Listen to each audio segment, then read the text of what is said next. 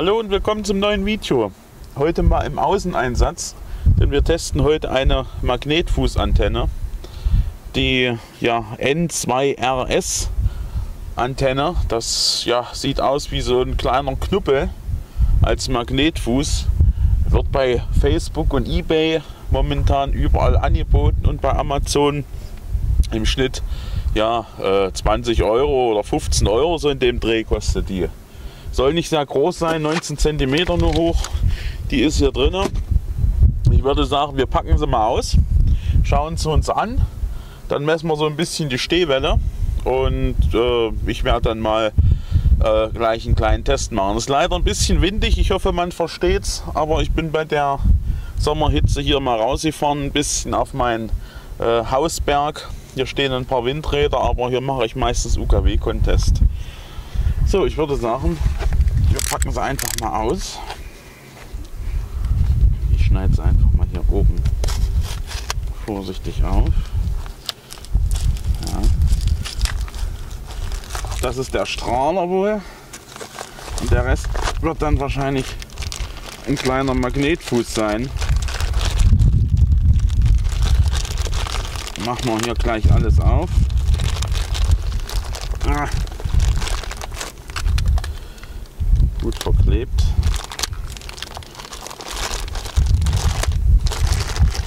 Ja, Magnetfuß. Kleiner Magnetfuß mit PL. Ein bisschen Stoff hier unten drin. Machen wir am besten auch gleich hier mal. Ah. So.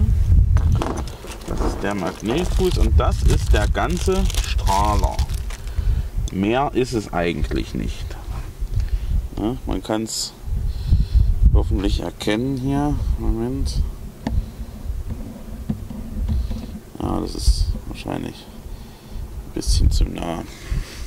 Also 136 bis 174 steht hier drauf und dann 400 bis 470 PL alles und ein PL-Stecker. Das schraubt man hier so drauf.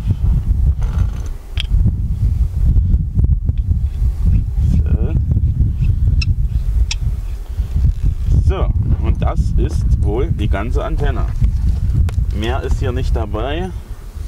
Ich kann hier auch nirgendwo die Stehwelle verändern.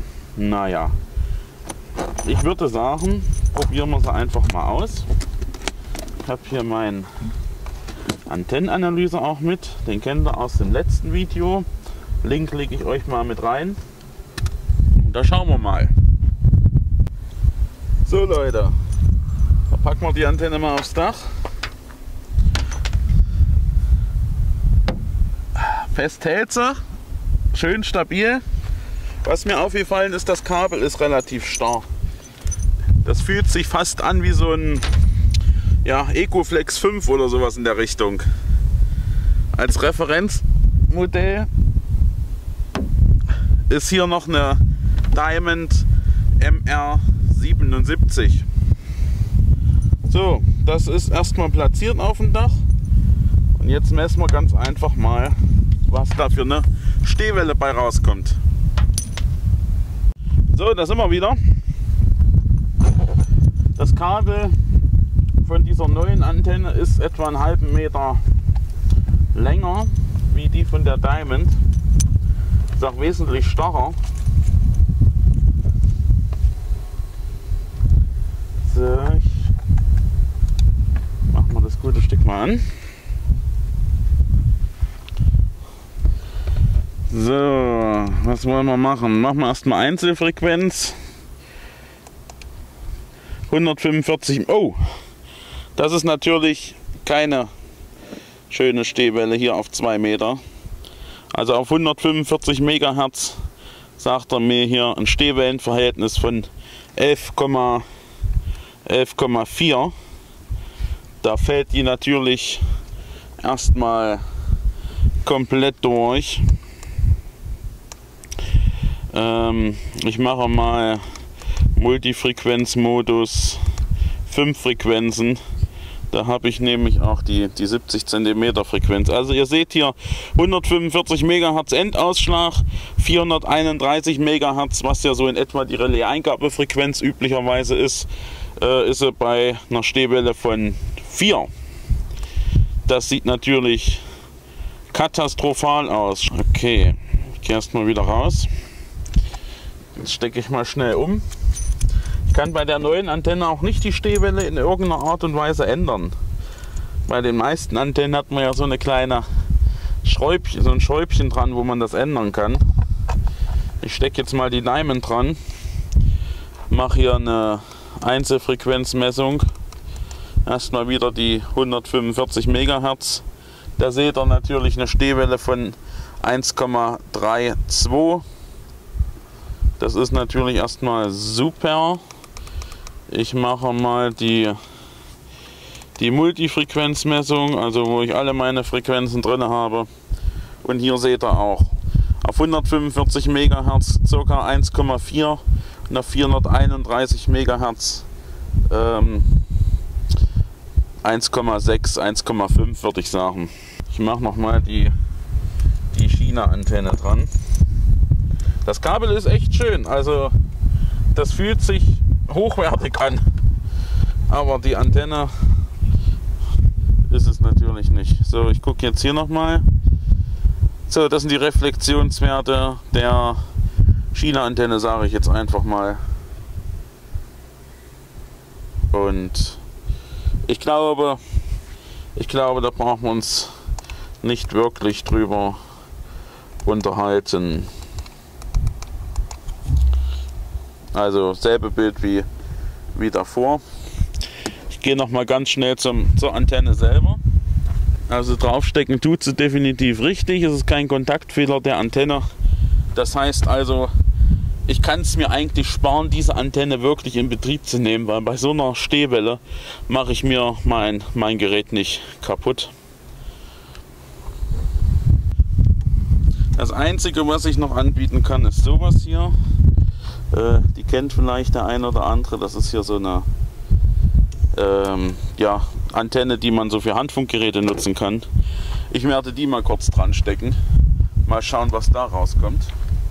Die Antenne, die ich jetzt dran habe, ist etwa fast so groß wie die Diamond.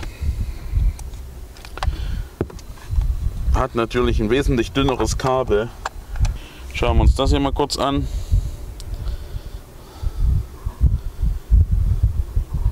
Ja, Stehwelle von 2 etwa für jedes Band. Also die ist schon mal wesentlich besser. Die hat, ja, was kostet die? Beim freundlichen Chinesen um die Ecke kostet die keine 10 Euro. Ist allerdings nicht sehr windstabil und verträgt auch nur, ähm, ich dächte 10 Watt. Machen wir jetzt noch mal eine, eine Einzelfrequenzmessung. 431 MHz hat sie eine Stehwelle von 2. Das ist, äh, kann man zur Not mitarbeiten, das ist kein Problem. Und jetzt schauen wir uns noch mal schnell die Reflexion an. Das sind die Reflexionswerte der kleinen Antenne. So. so. Also das ist diese, diese China-Antenne, wie gesagt, äh, 19 cm oder was das sein soll, oder 12 cm, ich weiß es gar nicht, äh, könnt ihr vergessen. Daneben, das ist die MR77 von Diamond. Äh, Preis ist, glaube ich, so um die 30 Euro. Selber getestet oder selber benutzt habe ich die Antenne schon ja, bis 170, 160.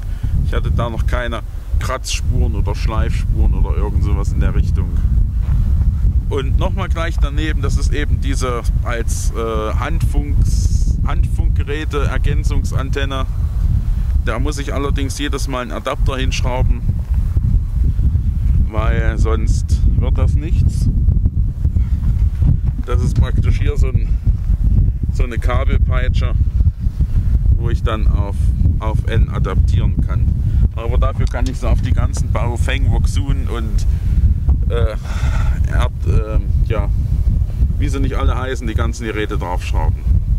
So, ich hoffe, es hat euch gefallen. Ich hoffe, es war euch eine Lehre, es hat euch geholfen. Vielleicht eine Kaufentscheidung. Also mein Tipp ist, holt euch von Diamond die MR77. Diese kleine Antenne hier, vergesst es, lasst es sein. Meine Antenne habt ihr gesehen, ihr macht euch die Endstufe kaputt, beziehungsweise die Endstufe regelt so weit runter, dass sowieso nicht mehr rauskommt. Äh, lasst es sein. Das einzig Nützliche, was man vielleicht von der Antenne brauchen könnte, ist der, der Fuß mit diesem PL dran.